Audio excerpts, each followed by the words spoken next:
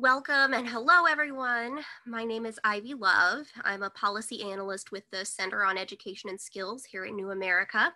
And I first just want to thank you all for being here with us today. We're really grateful to have you here for this discussion on how best to support our students and institutions, uh, particularly in the healthcare programs um, in this really strange and difficult time that we're living through. So just a couple of things before we get started. Uh, as Narmada just mentioned, if you have a question at any point over the course of the webinar, please feel free to submit that along with your affiliation using the chat function of Zoom. Our events team will collect your questions and then my colleague Iris Palmer will moderate a discussion of as many questions as we can get to during the last portion of the webinar. I do want to let you all know that we will be making this webinar recording available as well as the slide deck after the webinar has concluded. That will be located on the event page uh, for this webinar on New America's website. And then finally, I want to invite all of you to share your thoughts and to connect with us and with each other on Twitter during and after the webinar, we'll be using the hashtag CCOnline that you can see there down in the footer of the slides.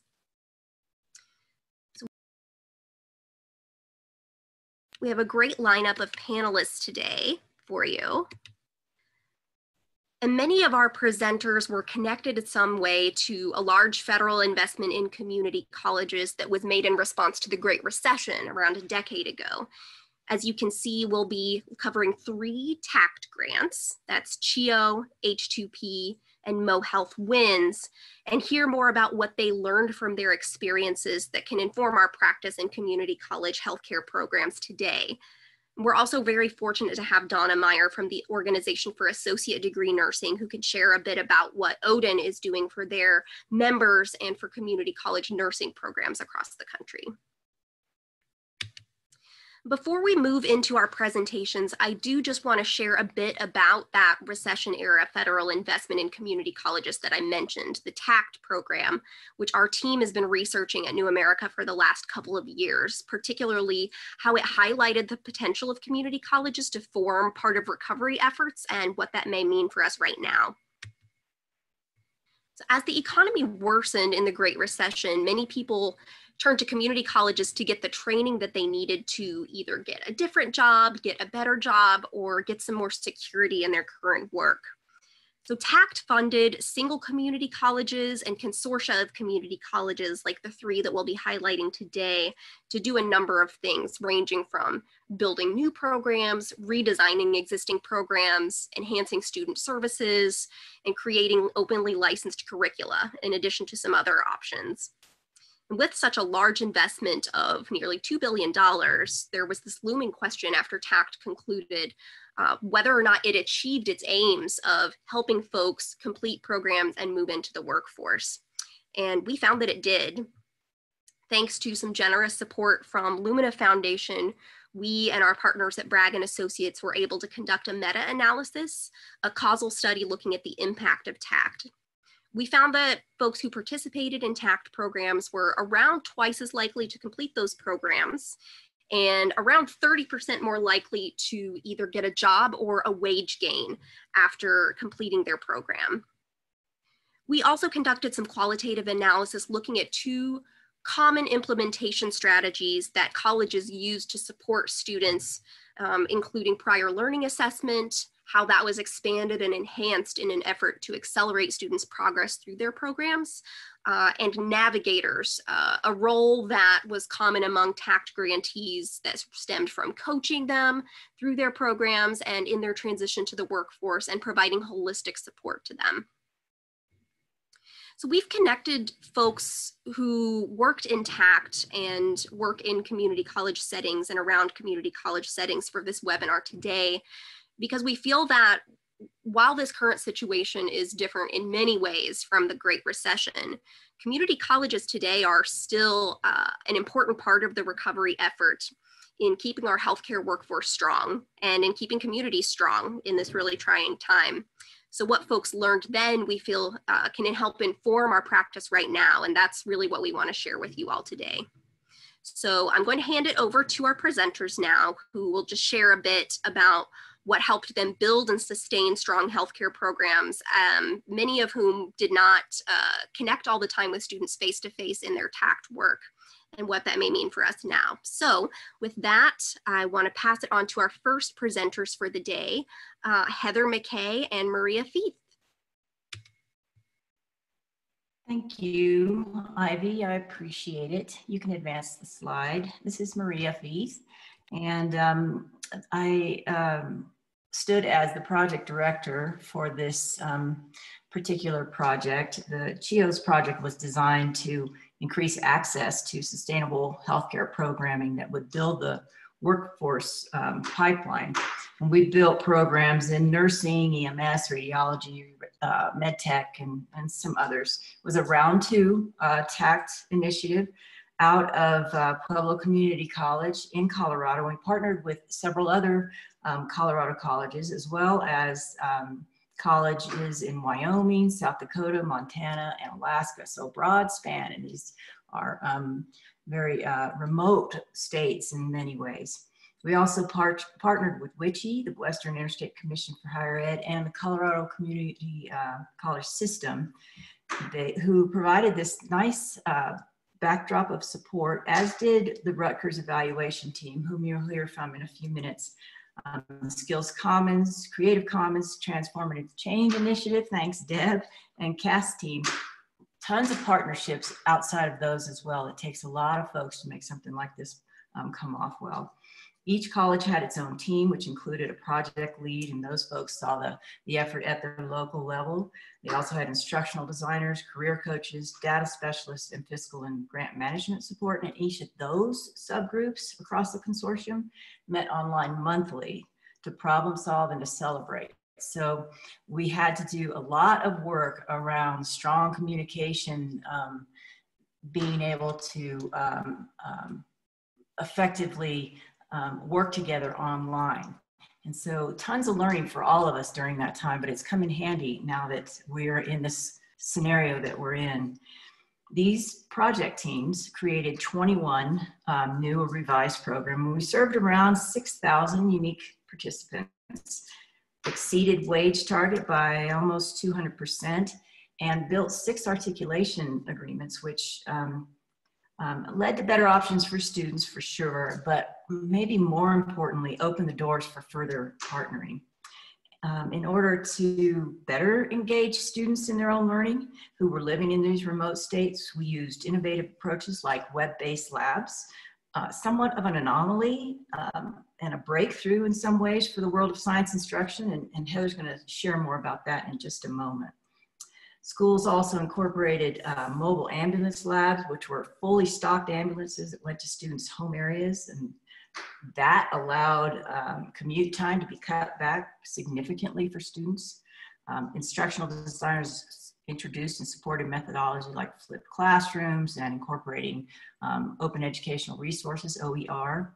And for many faculty at that time, it was that was just a completely um, foreign idea of uh, adopting large scale free or reduced um, priced curriculum. So um, there was a lot of work to do around just helping people understand what did it look like. We uh, worked closely with our third party, which was the Rutgers team, led by Heather McKay. And um, we did that to better understand the impacts of, of what was happening with those innovations and strategies I'm going to turn it over to Heather and she's going to talk a little bit more about how we deployed those strategies. So much, Maria. Um, I think it's a really great opportunity to be able to talk about CHEO in the context of what's happening today uh, with the COVID crisis and um, and the new reality that we're all in, uh, sitting at home, listening to this webinar and, and working from home. Uh, and our students are all learning from home. And, and CHEO provides a really nice example of how technology can be used as a tool for learning and teaching in healthcare. Um, the CHEO grant, as Maria talked about, was a way to help develop capacity for rural colleges, and many of these colleges were very rural. There were uh, colleges in Alaska. One of them was an, on an island in Kodiak. Um, colleges in Montana and Colorado. Um, and, and these schools uh, were in places where students came from many, many different um, surrounding towns and many, many miles away. Uh, and in some cases, as in the case uh, of the college in Alaska, students were all over the country uh, because they were participating in um, uh, training there, but also um, a part of the military. So they would be connecting from, from lots of different places. So I think the, the way that CHEO was set up is a nice example for us to think about and how to teach science and healthcare classes remotely. The grant used a variety of different kinds of innovations like that Maria talked about, and I'm gonna talk a little bit more closely about some of those. Um, and during CHEO, making these changes was for some colleges uh, difficult to do, as Maria talked about. There was pushback from faculty in some cases. Um, and uh, it was a change from business as usual, which was for some hard to swallow and, and hard to understand how learning could happen in a different way, in an online setting or in a remote setting. Uh, but now none of us have a, has a choice, right? Uh, we're all doing this and, and we have to be doing this for some time at least for the rest of the semester probably and, and maybe um, at some point into the fall or next spring this could happen again. So i think it's a time to think about innovating and it, it's a time for those who might have been resistant at, resistant at one time to begin to think about how they can do this and how they can make this delivery work for them and how they can help their students to learn. Uh, so i think CHEO provides some really good examples. I'm going to talk about a few of those now um, one was the online science labs that Maria talked about. These online science labs were a network of remote science labs. Uh, the acronym for this group was called NANSLO. Uh, there was a lab in uh, Canada, there was one in Colorado, and there was one in Montana. The uh, two of these labs still exist. The one in Montana and the one in, uh, in um, Canada still exist. And these labs provided remote experiences for students. Students could conduct experiments from a computer by manipulating robotics equipment in a remote lab. They could see what was happening on their computer screen, see the robot moving different things, see the robot um, doing different chemistry experiments, physics ex experiments, etc. Students were accompanied by a lab technician uh, online during those experiments who could help them with the experiment, could fix equipment if it needed to be fixed, and could help them think through the learning outcomes as they went along to make sure that they were getting what they needed out of the lab. Uh, during CHEO, there was some resistance to this idea. Uh, many thought that labs really couldn't be done remotely or they couldn't be done as well remotely. Um, others wondered, why would we do this when, when we've got labs on campus? What's, what's the point of this? So in some ways, um, NANSLO was before its time, but I think it was really unique. Uh, and it's, it's a tool that could be incredibly useful in today's atmosphere. Uh, we did a study on NANSLO and, and uh, that's available on Skills Commons, like Maria talked about, and I think there'll be a link at the end of the webinar to get to that. But what we found was that there was no difference in the learning outcomes um, between the NANSLO lab results and other home lab uh, options like mail kits. Um, so students were really learning from NANSLO. We also heard from students. We talked to a lot of students who did these remote labs, and they loved them. They thought it was a really fabulous experience. They felt like they learned a lot. Um, and so it was a good way to continue to do hands-on learning, uh, in science in a remote way. And so I, I think NANSLO presents a really great uh, story and opportunity. Uh, another um, mobile option uh, that was used during CHEO was this idea of a mobile learning lab. And this was also used in, in all three of the TAACCCT grants in Colorado. So it was used in healthcare for CHEO, but it was also used in the later grant, um, uh, CHAMP for manufacturing. And these labs were really um, mobile classrooms. They were ways for students to experience hands-on learning in healthcare uh, uh, in, in a remote setting. And, and, one could imagine that these kinds of classrooms or labs um, could be really useful tools in the COVID crisis. You could set up a remote classroom to help retrain health workers to do testing for COVID, um, to conduct those drive-through tests that we see everywhere, to train healthcare workers to, to do different kinds of COVID treatments when space is busy in hospitals and clinics and, and there's just not space for workforce training available um, or you know going to rural areas or going to uh, to to areas where there might be folks trained in home healthcare that that could be useful in the COVID crisis and thinking about retraining. So the mobile lab idea I think has some legs here and could be very useful moving forward. Uh, another thing that Maria mentioned were these new technologies and techniques. And I think uh, many of you who might be out there teaching now are learning these things as you go and moving forward. But the, the folks in the CHEO project um, have some really nice lessons learned about the kinds of things that they learned how to do during CHEO in terms of teaching healthcare and science online and how they um, use different technologies and tools. Um, so uh, folks did broadcasting of, of different um, lectures and they made them interactive. People also used um, robots and other ways to, to demonstrate um, different techniques and teach them remotely. Um, for students and, and really work to engage students. So I think a lot of the lessons from CHEO there can be really helpful. Another thing that I think CHEO did really well was the employer partnerships. And that will resonate really well now. I think too, um, working closely with, with employers, CHEO created some really successful um, partnerships. They created a sector partnership in Colorado and they worked with educators and employers around the table, creating a dialogue about what CHEO could do and how the colleges could respond to the needs of the community. And once again, that's going to be a really important uh, thing to think about during the COVID crisis. Colleges need to make sure that they're training people that are needed in the field, that they're creating coursework that responds to the changing needs of the pandemic and fill in the workforce gaps. And by working with employers, colleges can plan and serve their communities in an effective way. Uh, finally, stackable credentials was a was another theme in, in CHEO that I think resonates very well today and, and is really important. Um, creating educational and healthcare uh, pathways is uh, an important thing for students always, um, but it's particularly important when we need to get people out in the field and healthcare quickly. Uh, so colleges and CHEO thought about how credentials could be stacked and latticed. Um, that also occurred in, in the later TAACCCT grants in Colorado, uh, where work was done on credit for prior learning and creating a better credit for prior learning process and policy.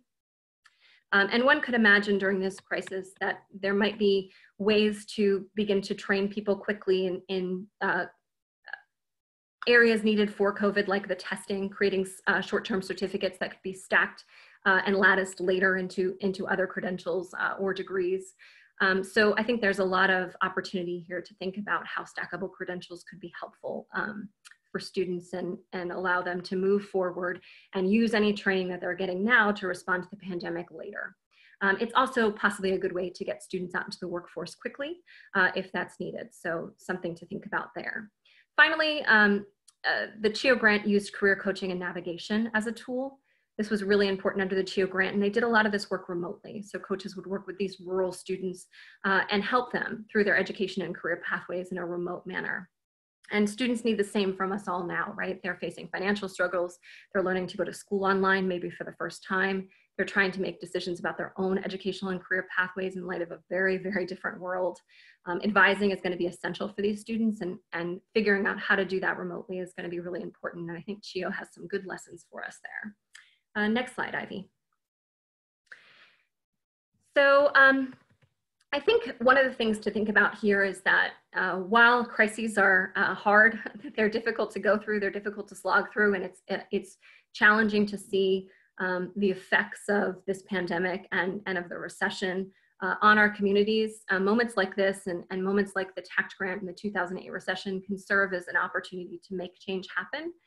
And um, and to, to make change sustainable. So I implore you all to, to use this as an opportunity where possible to think about making um, change and making technology at the forefront of that change. Um, pursuing this institutional change will certainly help students now and in the future.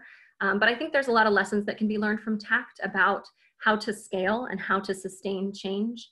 Um, so I would, I would recommend that folks look at these TAACCCT grants and, and consider how sustainability um, can be something that, that is a goal for you now as you begin to develop these changes and innovations, both this semester and in the future um, as, as you respond to the COVID crisis. Um, healthcare and science education can be taught online is another finding from CHEO. Um, we saw even the biggest of skeptics um, get convinced that students can learn well online and students can do um, some hands-on learning remotely. Um, CHEO has some nice examples of how that happened. And, and again, I think uh, our evaluation reports and, and the work that um, Maria did and, and others in the grant can be great resources to you as you move forward with this. Um, and finally, moving, using strategies to move um, students through career pathways is something that, that CHEO did really well and, and I think could be very helpful as we all think about moving forward, training students quickly, creating these pathways, and, and also figuring out ways to keep students enrolled, keep them engaged in higher education are gonna be really important. So flexibility is crucial. These are really difficult times. We need to think about ways to help students get through them. Uh, credit for prior learning policies are one way to do that, as are reforms in developmental education for healthcare pathways, um, and developing and, and promoting and advising students through educational and career pathways. So I'll move on to you, Maria. Thanks, Heather. And she's right. Science and other discipline areas can be taught online successfully. And we learned that through um, um, some trial and error for sure, but there are definite successes that can happen pretty quickly. It takes a lot of support for faculty and for senior staff, and we used project management tools to make sure that those stakeholders stayed informed.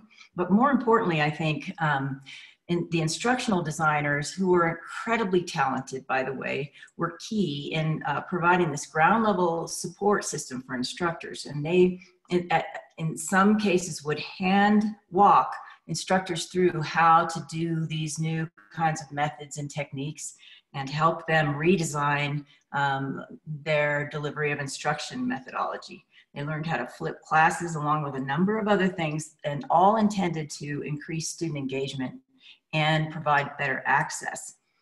Those practices led to um, increased confidence levels of uh, students, but also increased confidence levels of instructors and ownership of these of this new way of thinking about teaching, which gave colleges an upskilled faculty pool we also learned that program acceleration was really key to boosting that um, healthcare workforce pipeline. And I think that's a consistent lesson that we saw across tech projects, regardless of the sector. We, we know people have to get in the workplace and um, in order to better support themselves and their families. And these programs were all designed to do exactly that. Um, as Heather emphasized a few minutes ago, employer partnerships are more important now than they ever have been. And with the help of the Colorado Workforce Development Council, we launched um, a healthcare sector partnership in Colorado, the first of its kind in Southern Colorado.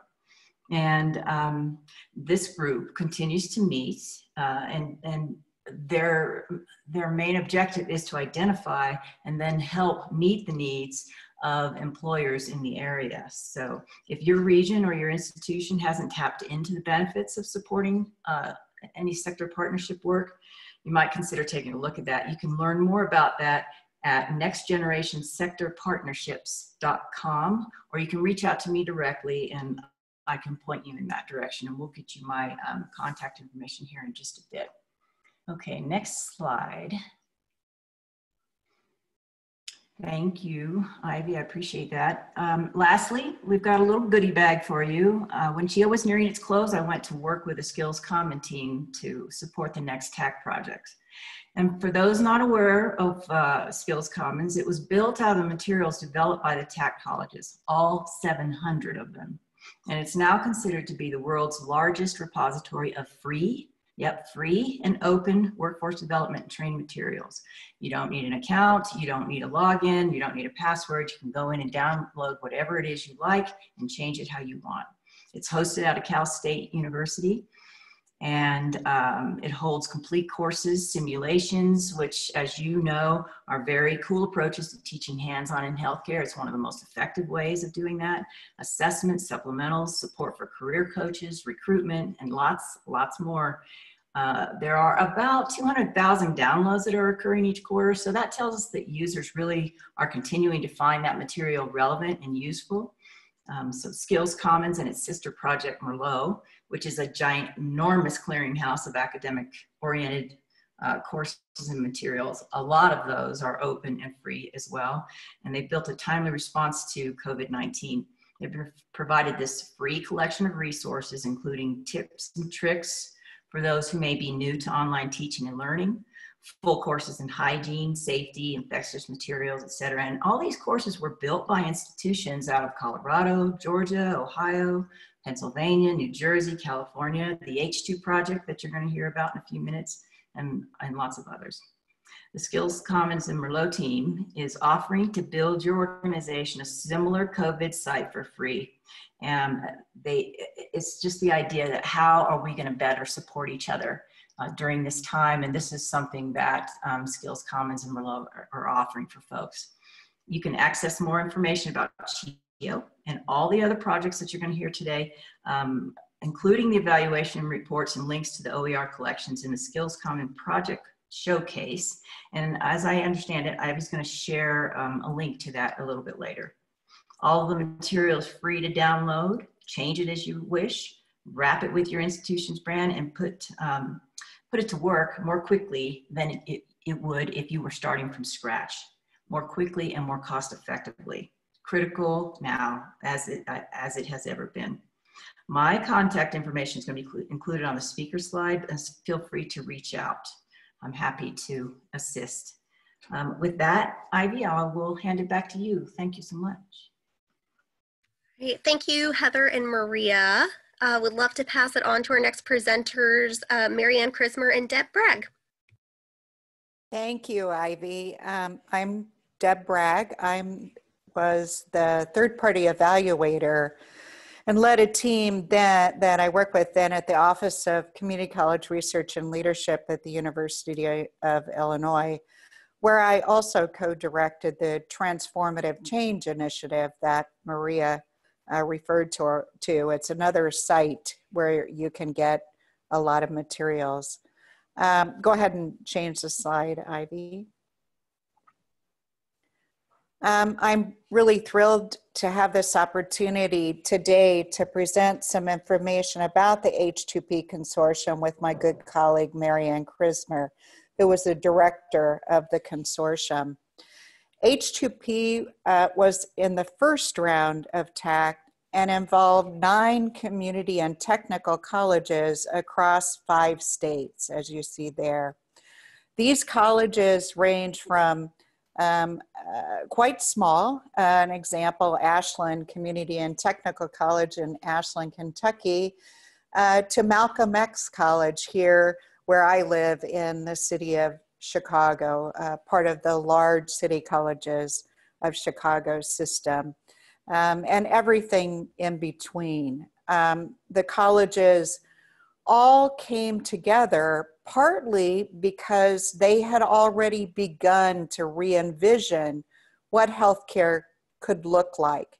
And they all had invested in some innovations that they wanted to share with one another, but also grow a national network as well as a national movement.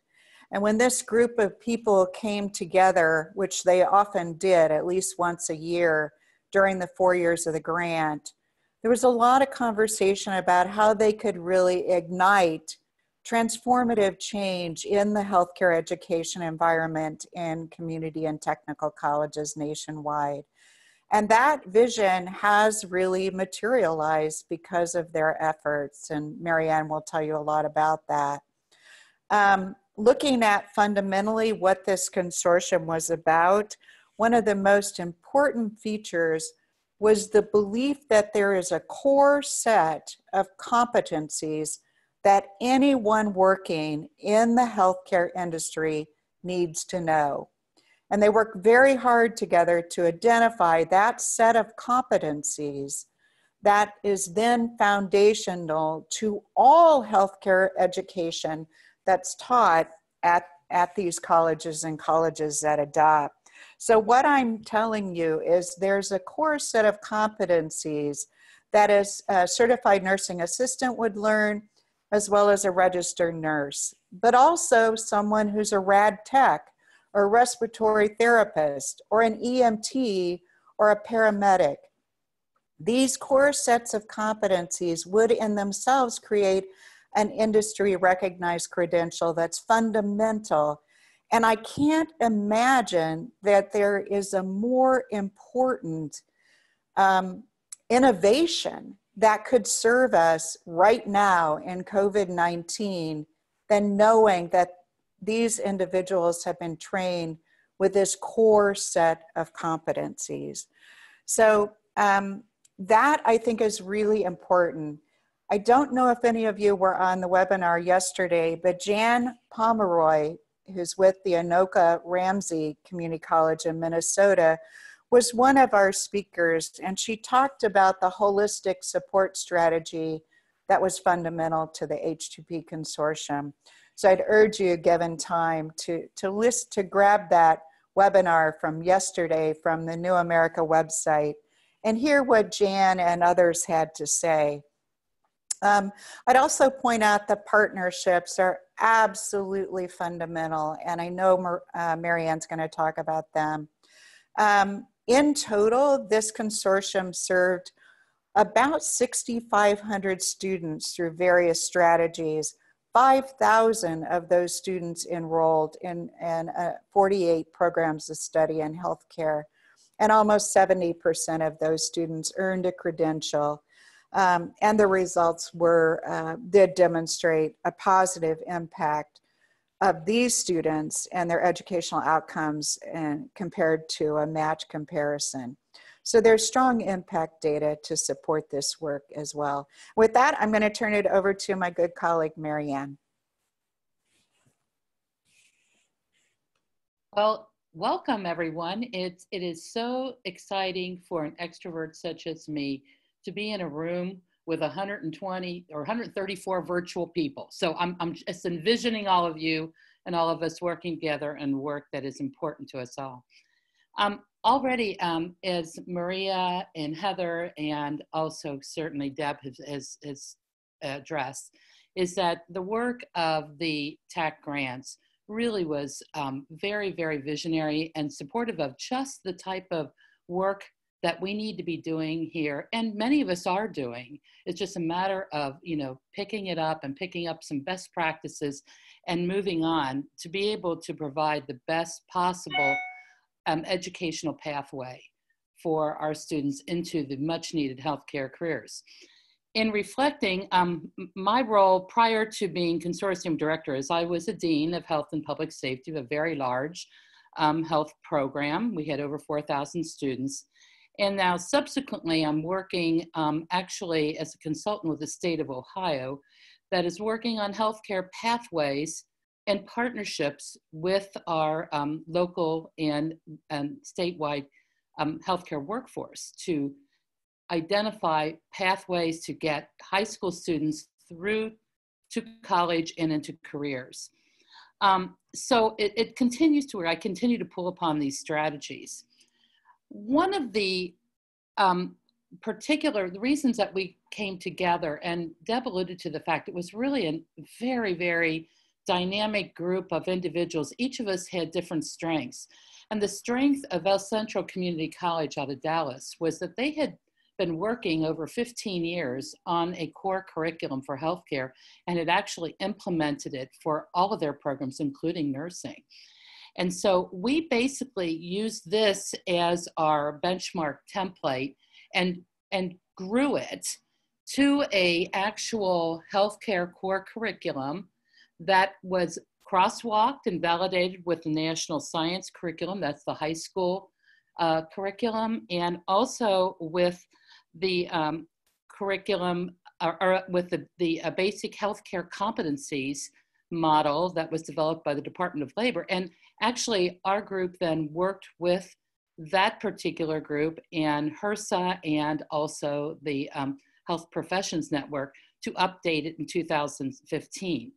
So we have now a curriculum and what is interesting about that it's all it's all available it's free there are seven modules we hired a company to put together great video great content all ready to download, all, all available to you on um, Skills Commons. But in addition to that, um, that particular work is now being offered um, through the um, Minnesota system and the um, HealthForce Minnesota. Um, and that is available as a curriculum that kind of a train the trainer curriculum that can be offered um, to your staff or to people within your community. And this content can be provided in a variety of ways from high school to college to within the healthcare um, environment itself to community based. And we're doing that in the greater Cincinnati area. And also, I know that they're doing that in Minnesota um, to actually bring healthcare uh, workforce together to be responsible to some extent for the pathway and to the teaching, the learning, the instructing by providing this very, very strong foundation. Along with that, another um, course that was developed with funds, um, and it came out of Cincinnati. We had a very, very innovative biology faculty member who put together, listened to what we were saying about healthcare, and put together a course um, called Integrated Biology and Skills for Success in Science. It's actually a six hour pre course um, that can be offered as a pre um, anatomy and physiology pre program course, or it can be even offered in high school or as a boot camp.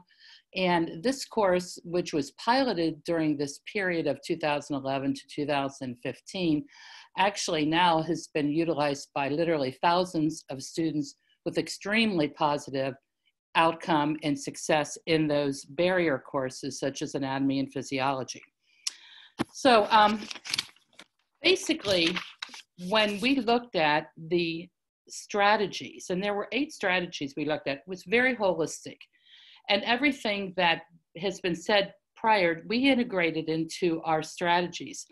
Um, but what is important to create a system or systematic change that is impactful is that really not one particular strategy, whether it be distance learning or core curriculum or partnerships or student support, can survive on its own. It's very important that the system be thought of as a system, an integrated system that involves all stakeholders starts at the local level, regional level, state level, and goes all the way to the national level.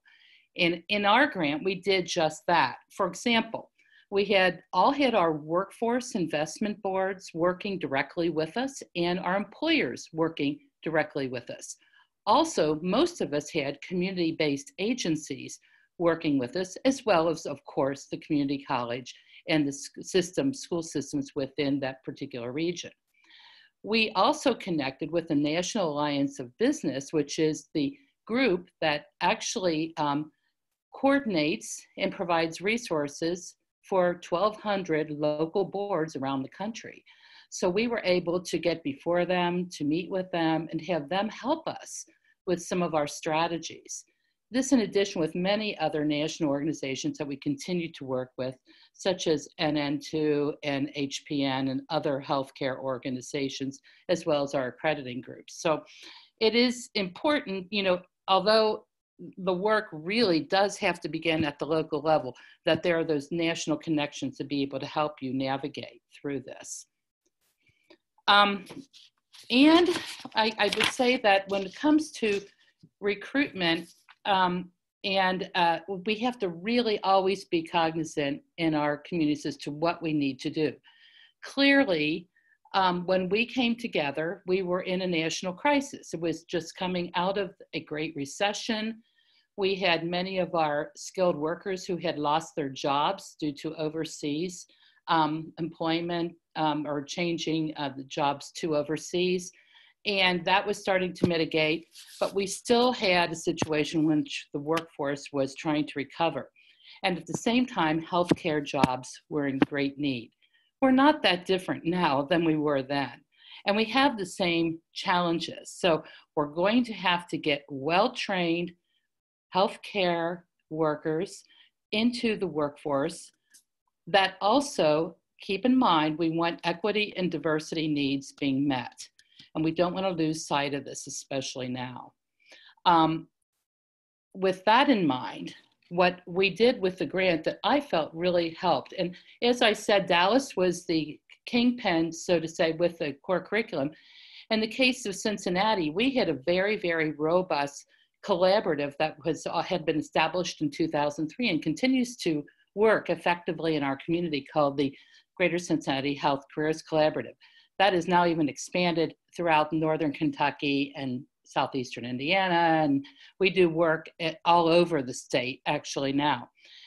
The key is, is that this was an employer-led partnership with education and the um, community also being very much center stage. So we work collaboratively, leave our egos at the door, and really work to meet the workforce needs and the diversity needs improving poverty in the region collectively under our United Way, which hosted um, the, the group, which was funded um, by various funding methods.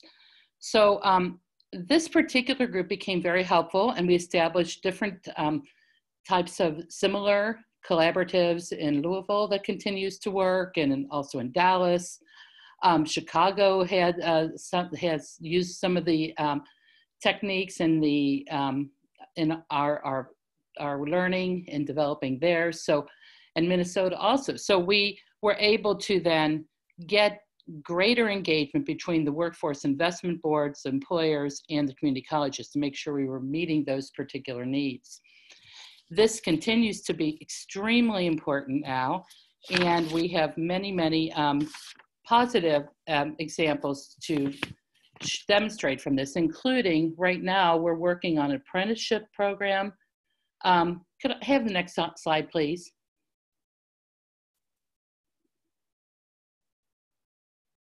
Hello, next slide. Okay, very good. Um, so that we have actually created um, various types of pathways that reduce time to completion.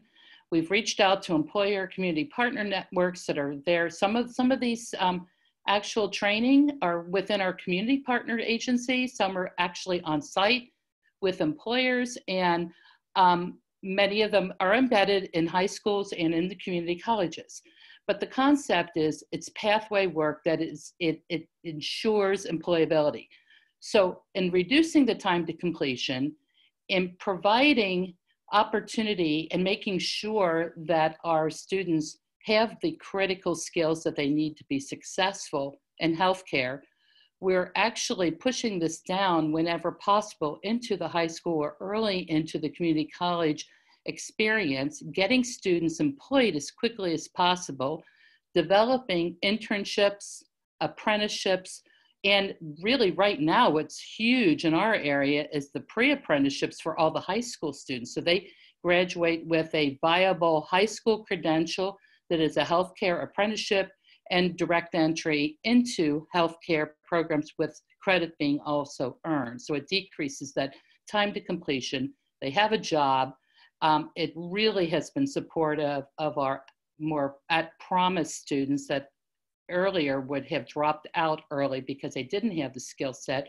or the um, necessary income they needed to mitigate their particular challenges. So it's really showing or demonstrating some success, and we continue to work on those particular uh, pre-apprenticeship and apprenticeship programs especially in um, medical assisting, sterile processing, um, looking into ones for respiratory care and nursing. Um, so this continues. Again, a lot of barriers. We still we have a lot of uh, things to do, but we're making some progress.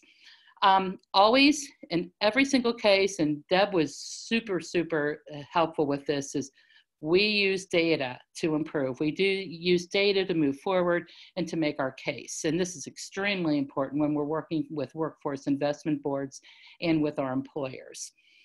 So I guess in closing for me, as I would say, um, right now, act now while the, the iron's hot. I mean, you've got reasons to implement some of those innovations and to get your community partners mobilized do it now while the iron's hot. And sometimes you're going to make some mistakes. We can mitigate those in the future, but the, the, the um, innovation and the opportunity often occurs when there is the most challenge. Deb, did you have something else you wanted to say? I think we. I didn't, Marianne. Thank you so much. That was wonderful. Thank you. Yeah, thank you both. Really appreciate it. Um, I would like to pass it on now to our folks from MoHealthWINs. I apologize for my dog backing, barking in the background. Um, John and Maggie Cosgrove and Kenny Wilson. Thank you so much. This um, this is Maggie Cosgrove, and uh, John and I served as the researchers on MoHealthWINs, and that was such a humbling experience uh, to work with such passionate educators, and it, it really still resonates. So thank you for including us in this uh, webinar. Uh, it's, it's important to colleges as they work frontline in this COVID period. So first, I just have to say that um, our research really echoes the information of each of the previous speakers. Um, having said that, John and I have identified four overarching themes from our research that we believe are applicable as colleges respond to the COVID 19 crisis in new and innovative ways. So um, as you can see from this slide, MoHealthWINs was a round one TAACCCT grant, and it included all of the two-year colleges in Missouri. The second bullet point sort of shows that it was a complex endeavor. There were a ton of strategies or innovations. And it, uh, the slide also shows that um, we saw success with both completion and employment as well as many other areas. But one key lesson that the colleges learned was that student support innovations should be connected to or integrated into the classroom experience. Supports that seemed extra or required students to take some action to get the service were just less likely to be used. Second, we, we know that although the faculty member is the point of the spear for innovation to work, it requires more than just the faculty. Colleges came to learn that each innovation supported the other innovations. And since these innovations overlapped, colleges needed to make sure that organizational functions interacted and overlapped too. For example, financial aid and advising. That showed up time and time again, the importance of that. Um, third, we saw that successful innovative instruction required a team of faculty and staff who were passionate about the innovation, committed to students, and flexible. For example, colleges learned that to get adjunct instructors competent in technology, they had to work together and become a team with their IT department to ensure access for remote learners. And finally, because MoHealthWINs was complex, colleges learned the importance of keeping track of what they were doing and what they were learning. For example, the importance of a process to systematically gather feedback from instructors was really helpful. So as colleges develop strategies to address COVID-19, uh, Mo Health provides all of them with a set of successful evidence-based innovations connected to adult and high-risk student populations um, Mo Health was groundbreaking, and so it transformed how Missouri and its community colleges use employer engagement, stackable credentials, accelerated learning, proactive student supports, and technology enhancements to create post-secondary education programs and awards. So having said all that, I now get to turn it over to Kenny Wilson, who has been a leader in his college and across the state in both implementing and learning from these. Thanks, Maggie. And, and you read that what I what I said about myself very well. I appreciate that. Um, just kidding. Um, we had the opportunity to work across community colleges and across areas in our state, uh, building bridges in areas that honestly weren't there before. Um, Missouri is a decentralized system. We have our own little fiefdoms in each part of the state that um, you know build a, build their programs within a silo. Um, Mo Health Wins really gave us the opportunity to look across these programs to be able to see where we had uh, similarities where we had areas of collaboration and be able to build on those. For us uh, at Jefferson College, which is a small community college about 45 minutes south of St. Louis, uh, we were able to bring on board some programs, some technologies, some activities that honestly we would not have had the opportunity to, to do. Um, as everyone knows, in challenging financial times, um, having the financial flexibility to be able to take risks um, becomes even more challenging. So, um, TAACCCT really gave us the opportunity to take some risks that have really paid dividends for us uh, in the long run. So, um, technology enhanced content. Uh, we'll get into that a little bit more late, later, but technology was a key avenue to be able to connect us to students, connect us to areas that we didn't necessarily um, connect before. Um, enhanced advising, navigation is a great word that we uh, that we'll talk about a little bit uh, on the next slide. But being able to navigate students through the rough waters of onboarding is uh, is really challenging. Um, you know, um, employer engagement. Uh, employers were involved uh, through uh, multiple avenues, through both program development, student core competency development, um, obviously giving clinical opportunities as well as hiring our students afterwards. And then, almost as importantly for us to be able to provide us the feedback afterwards to be able to tell us what was good, uh, what needed to be changed, and uh, what, what we could have improved on. The uh, course contextualization is, um, is an interesting concept. We um, had our two programs in MoHealthWINs were a development of a rad tech program that was uh, chunked and modularized, and we'll talk about that in a second. But the other was a CIS program that was specifically dedicated to developing IT representatives within the healthcare field. Um, not so much the HIT realm, but more along the uh, the physical individuals that were doing the uh, systems setups within larger hospital communities as well as you know smaller uh, hospital areas. And to develop uh, for example a customer service class that was specifically dedicated for those students in the cis realm to be able to learn how to interact with um, you know a physician or a nurse or the um, or the nurse manager at a, on a particular floor when there was computer related issues and how the IT support would be able to uh, work with those individuals. So these were some of the uh, strategies and the areas in which we worked at the college. Um, if you wouldn't mind uh, changing the slide, I'd appreciate it. So for me, I had four take home points that I really, um, that jumped out to me.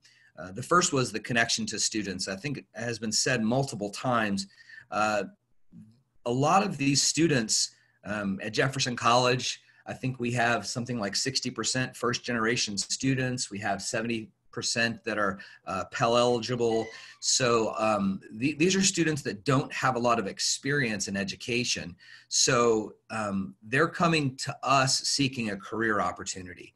So our job as educators in, in higher education is to be able to navigate them through those challenging waters. We all know uh, when you when you break down the admission process for a student to get into an associate degree program, it, it's daunting for someone who has the support network at home to be able to help them do that. Um, imagine if you're a, you know, you're a, a single mom or a, you know, a, a a father who's never stepped foot in a higher education institution you have kids at home you're now trying to get a new career because your your previous job has gone away and this is your first time crossing that that barrier into a higher education institution.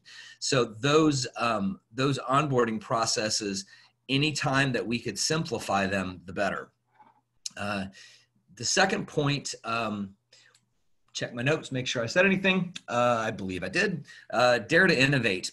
Um, as we moved in COVID 19, um, by far the easiest program of study for me to transition or for me to assist my program directors to transition was the RadTech program. Uh, the RadTech program was a MoHealthWINs program. Um, it's developed an eight week um, course offerings. It's very, uh, very focused in its uh, technology use. Um, the faculty members did not skip a beat, um, and we've we've challenged with some proctoring uh, of online tests and things such as that. Uh, these two faculty members have been like, "Oh, it works great. These were some challenges, but but uh, we can uh, we can work through them." so by far the easiest program to transition.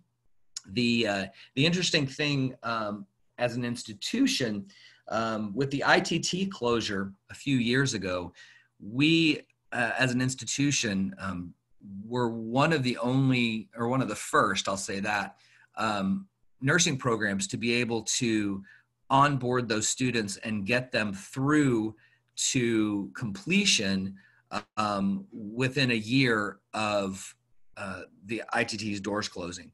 So we had students in St. Louis. We had a group of 12 students in St. Louis that were within eight weeks of graduating from ITT when they closed their doors.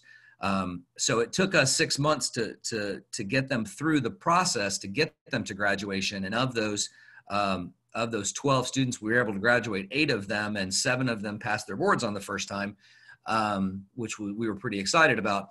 But the, the point was we were able to work across um, both career and tech education, which is, you know, used to being a little more flexible and a little more, um, used to changes and arts and science, which um, didn't have that opportunity necessarily to uh, to to have these innovative programs. Um, so it was it was a it was a interesting opportunity for us to work across the institution to be able to bring not only career training through the nursing program but also the uh, general education curriculum to be able to do credit for prior learning and other uh, opportunities to be able to shorten that pathway to completion.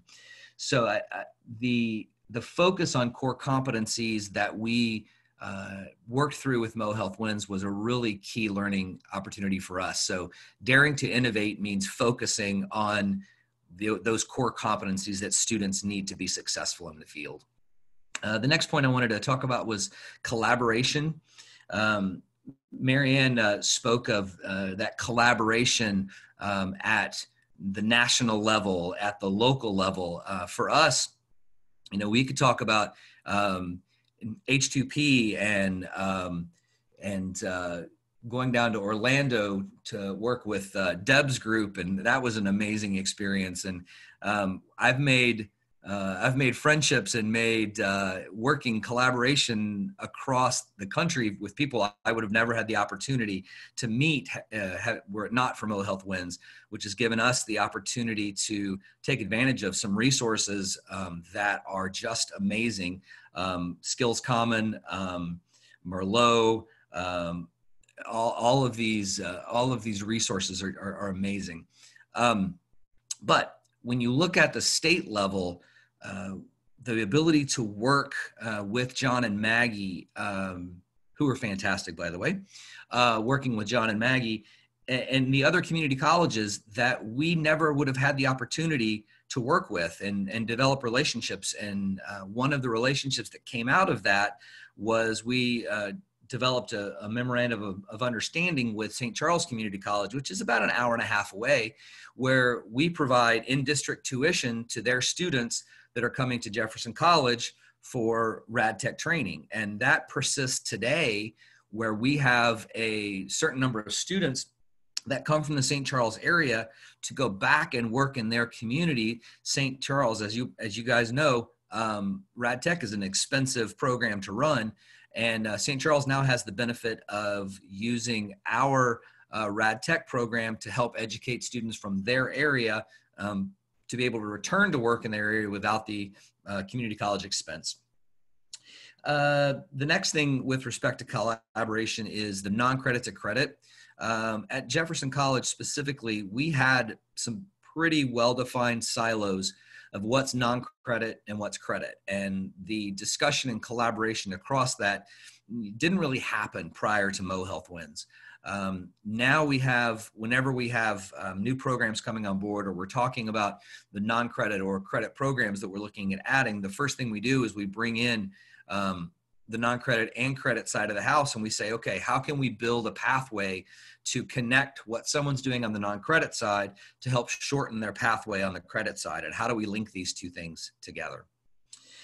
The last point I wanted to make um, was with respect to just outworking the barriers. Um, Maggie said uh, we have to be flexible in higher education, and um, you know she's just talking silly talk. We don't do that sort of thing in higher education, do we? Um, but I think the uh, the flexibility and the work necessary to uh, outwork these challenges uh, requires a certain level of flexibility and a certain level of, of innovation and collaboration. You know, we're if we if we look at our students as individuals, we're asking them to work through some pretty significant barriers. Um, I think we can challenge ourselves as well to work through these barriers to be able to allow our students to be successful in moving on to their careers. So um, that's all that I had to say. So I believe I'm sending it back to you.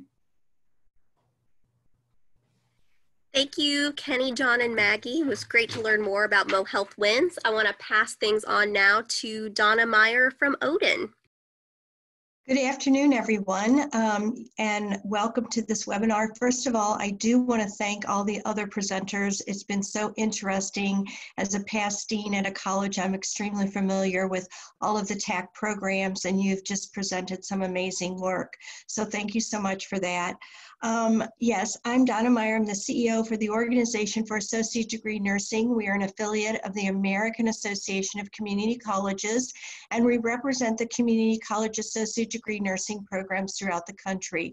Specifically, we our membership is the programs and the faculty included. Um, just as a word of advice, you know, word, we also do have a student arm because we do have an honor society for the nursing students. So I do like to um, mention that at all times. Next slide, please.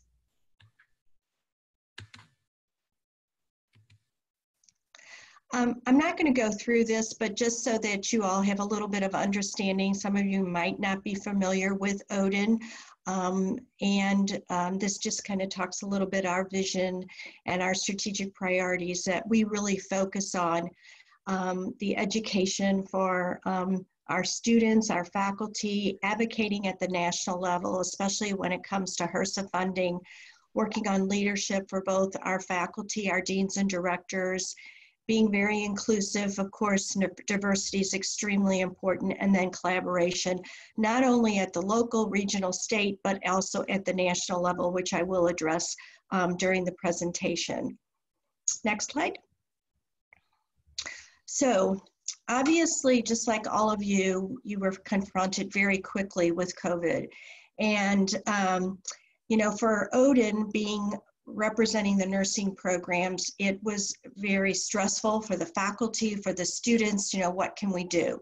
The very first, one of the first things that we did, um, I just wanted to mention, is we did put out a call to action because we were so extremely concerned about the PPE equipment. And so some of your schools might have been involved in this initiative because we wanted to try to collect as much PPE equipment, get it to our local community, whether it be a healthcare setting or schools or other places that needed this equipment, long-term care facilities excuse me, long-term care facilities. Um, so we really worked on that. So then we were confronted, our uh, faculty, they were very concerned. What can we do? How quickly can we move all of this? So first of all, simulation. Um, we've always done simulation in our programs, but it does present some challenges. First of all, um, according to each state, there's a Nurse Practice Act, and the nursing programs do have to follow the rules and regs in those Nurse Practice Acts.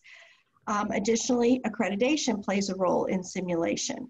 So that was the first thing that OADN started working on was getting information out on our website about different, um, you know, opportunities for simulation. And we also made sure that, you know, people understood what they needed to do. They needed to, you know, make sure they checked with their Nurse Practice Act, make sure they worked with their accrediting body. Um, according to the National Council of State Boards of Nursing, you can do up to 50% simulation in your programs and have the same outcomes. So a lot of our programs had to work with their local boards of their state boards of nursing to say, you know, what can we do? Many boards of nursing across the country have actually changed that you can do more simulation. Uh, so that was one area. So, you know, changing to the online digital classroom, of course, became very important also.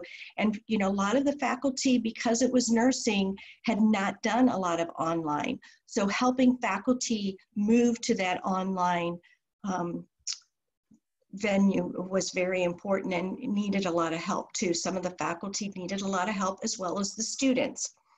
Um, the next thing was we have done a lot of webinars ourselves. We've been partnering with webinars.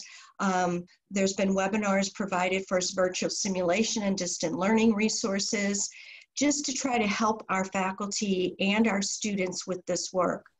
Um, our next webinar is going to be very interesting, I think, on April 28th, because it's going to be about crucial conversations with faculty and students. You can imagine that those students that are still going to clinical in some areas of the country and faculty, they do have certain questions. What can, you know, concerns about their own health. And so we've been trying to help them with those. And so our next webinar for OADN is on actually going to be about some of these crucial conversations. Additionally, we have been collaborating with many, many people and organizations, whether it be you know, different educational companies, you know, and this is all on our landing resource page. Um, those of you that, you know, I would encourage you to go to OADN, www.oadn.org, um, because we have a whole landing page on different resources that are available. So if you haven't been able to look at that, I would encourage you to do that. One of the major collaborations that did occur, and it has to do also with a policy brief, which is the next bullet point, is that we worked with um, the National Council of State Boards of Nursing. They took the lead, and with 10 other national nursing organizations, a brief came out called U.S. Nursing Leadership Supports Practice Academic Partnerships to Assist the Nursing Workforce During the COVID 19 Crisis. So, one of the big concerns, of course, has been getting students back into clinical. Many of the hospitals felt it was just, you know, challenging to have more people coming into the hospital. They didn't want the students there. They could use the help. So, what could we do? So, this particular policy brief, it was really interesting. We worked on it very hard under the leadership of NCSBN, and within 48 hours, um, developed this policy brief. And basically, um, what it says is the proposal is that students in um, the pre-art, the nursing programs, RPN, um, vocational nursing programs, and that they are enrolled in an approved program by the State Board of Nursing, could actually become employees um, and that those employee, as an employee, then they could also gain um, clinical academic credit. So this was rather a new initiative that we're trying to get those students back in clinical, but also as an employee, then they have some benefits and having a faculty member with them to oversee some of this. So it's rather a unique opportunity that has not been done in the past that could be very beneficial.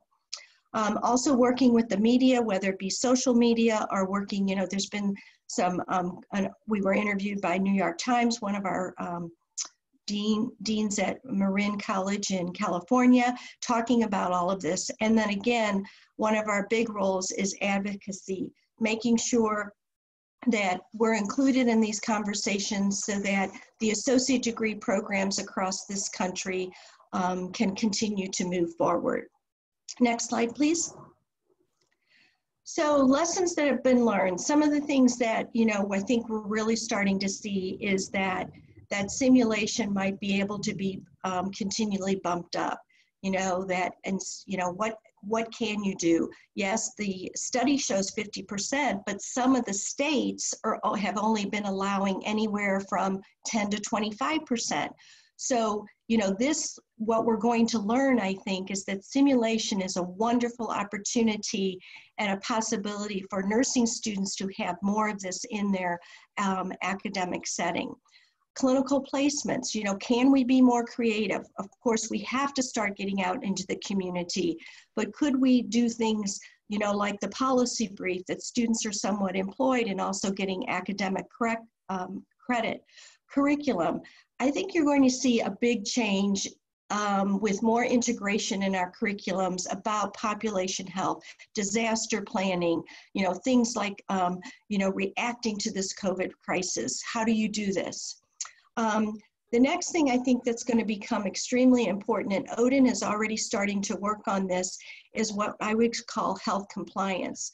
One of our major partners is Castle Branch, and some of you might be familiar with Castle Branch because of background checks and things like that but they are working and have really worked diligently for like the last four weeks and have come up with a software program to help screen students so that they can go back into clinical to show that they don't have temperatures to make sure that they've actually understand proper um, hygiene techniques and that. So this is hopefully will help students get in, back into clinical much quicker as well as the, and this also goes into the quality and safety. one of the th- initiatives that OADN always has worked on is quality and safety in nursing education. Um, you might be familiar with it called QSEN, but we are really going to focus on quality and safety to make sure that um, the graduates from these programs are working in that vein. And, you know, finally, I really want to mention the nursing workforce. As you all probably know, nursing, the profession, is the largest healthcare profession in the country but we have to continue to have this nursing workforce. And I think at any, you know, this really shows how strong the associate degree programs are in this country, how important they are to the healthcare of our country. You know, we have many, many rural states and you know where there might be only you know one university and seven community colleges we always have served a very important role in healthcare. And i think this crisis is only showing how important we are for the nursing workforce and we have to continue to work to get these students out. I can tell you one of the big initiatives with the deans and directors in the programs right now is to make sure that those graduates for um, May are going to be able to get out into the working workforce as soon as possible. Some of the states have also, um, you know, changed some of the policies as far as how quickly they can get that nursing license because we know we need that workforce. So, so much is being done. Yes, we have had some many challenges, but I think the way we're looking at it is these challenges are now providing opportunities, opportunities to show what different ways you can do do things in education, especially in nursing, when it comes you know to the fact that it is hands-on but you can also do other things. And to make sure that we get that nursing workforce you know out there and that the associate degree really plays a very important role and that we must collaborate with our other healthcare professions from some of the programs like the TAACCCT grant so very important. So I want to thank you for um, letting me share a little bit about what OADN's doing, and I do encourage you to go to our website for resources, and I'm happy to help in any way I can if you have specific questions about um, nursing. Thank you. Donna, thank you so, so much for sharing all of that great information. We were really grateful for you and for your participation. Um, I want to pass it over to my colleague Iris right now. We've got about 15 more minutes before we need to wrap up. And so uh, Iris has a couple of questions that folks have been asking that she'll direct to the panelists. Thank you, Ivy, and thank you all the panelists. My name is Iris Palmer. I'm a senior advisor here at New America, and I think we can go ahead and get right to the questions. Um, the first one was sent in by someone who's actually a medical assisting faculty member. Um, and this is something that Donna, you've been addressing, but I think we could get a little bit deeper into it. Um, how did how have you all thought about addressing the requirements for from external accrediting body, bodies requiring hands-on hours for clinical courses and allied health problem programs such as vital signs, laboratory classes, phlebotomy, patient care, etc. And we've talked about this a little bit already, but I'd love to give um, a little bit of time for maybe Heather, Maria, um, Donna to talk a little bit more in depth about these type, how, how we can make these, um, these types of experiences virtual given the requirements uh, of accrediting and licensure.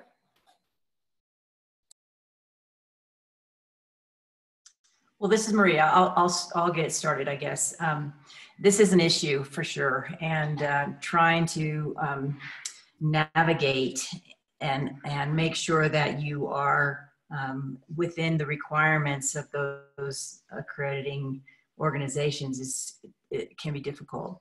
But um, with tools like the NANSLO lab that we talked about, um, and being able to um, use simulations, some which are built online, and some of those simulations are available um, through these projects and on Skills Commons. Um, it, it's possible to uh, be able to build those hours toward the requirements. Um, I'll be quiet for a few minutes and let's let Marianne or Heather chip in.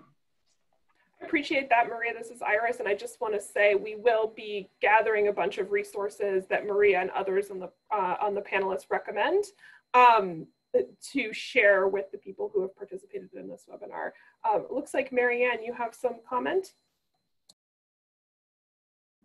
Yes, um, I was just on a conference call yesterday with HPN, And the person from medical, represented medical assisting and uh, said that MAERB and another one of the organizations were relaxing that requirement. So you might want to check into that to see what it was. I know that it like the the the the hour the um, unpaid hour requirement was going to be able to be met in other ways, considering the crisis. And then, as I said, this could be an opportunity for some flexibility also in the future.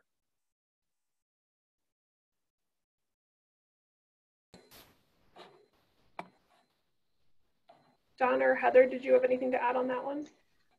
Um, this is Donna. I was just going to say one of the things, and again, I, am speaking specifically to nursing, um, you know, the talking to your accreditor and really talking to the you know the board of nursing is the best solution. I have found that they are very you know they understand the crisis and they're trying to adapt and you know look at things so that you know people can get through their programs and meet the the outcomes. Um, so i think the best advice you know OADN is saying is have those conversations and see what you can do but you know um, with your accreditor and your particular state board of nursing Thank you, Donna. And I, um, Heather, did you have something to add? No, I was just going to say I think uh, it's been covered. Thank you. Great. And like I said, we'll be providing additional resources after the end of this of, of this particular webinar. Um, so we have kind of a technical question for H2P. Um, the medical assistant uh, program that you listed in your in your uh, in your project was it an admin, MAA, or a clinical CMA program? It was um, both. I mean, it was a, it was a MAERB um, one year program for double A with double AMA and um, CMA uh, accreditation at the end.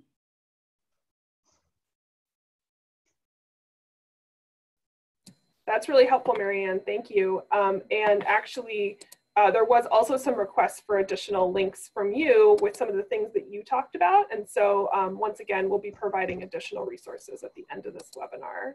Sure. Um, so my, our next question actually is for Kenny. Um, you mentioned in, uh, an integrative biology class. Um, is there additional information that you can provide about that, or is that something that we would also provide as a reference at the end of this webinar? So I believe the integrative biology class was Marianne that discussed that. Um, when we talked about biology from the ITT perspective, it was more along the lines of using certain internal and external uh, assessment tools to be able to provide credit for prior learning for individuals in the AP uh, arena. So, Marion, I believe you guys talked about the um, integrative biology, or was I mistaken there? Yes, um, you are correct. It is an integrated biology course. This course was actually developed in response to the faculty at Cincinnati State's concern that so many students, especially um, our more academically stressed students were failing out of the, the anatomy and physiology sequence, over 50%, which is unacceptable. So what we developed is this course that actually um, it, it, it does not increase time to completion. In fact, it decreased time to completion because as a result of the challenges with the anatomy and physiology, there was a biology prerequisite, a chemistry prerequisite, and a math prerequisite that were actually integrated into this one six credit hour course, which included also, in addition to the basic skills they needed to be successful in A&P, also workforce uh, types of employability skills, um, scientific research methodology in a, in a entry level way. So using scientific method in your decision making, critical thinking, etc.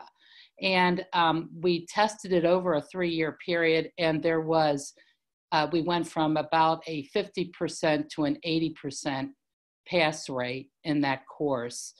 Um, and the letter grades increased by one whole letter grade for those who took this course versus those who took the traditional um, sequence of courses. So that's the kind of you know work we were doing with the grant, and this course has continued to be offered, and as I said, has been um, offered to many other community colleges. And I can get I can give you that information uh, actually how to access information, more information about the course itself. But the uh, rudiments of it are on the uh, Merlot site or the um, the skills common skills common site. Yes. Yeah, we'll we'll like I said be sending the specific links to things like that. Yeah. We'll be bringing them together and putting them on the on Yeah, the and, and, the, and, and the initial data, I think this hasn't been updated, but the data we had through 2016, um, we do have updated data now, is on that. um, Great. also. Sounds like a wonderful project. So I think what's going to be our last question is for Donna. Donna, how are schools providing exams during the shutdown? Um, exams, did you say?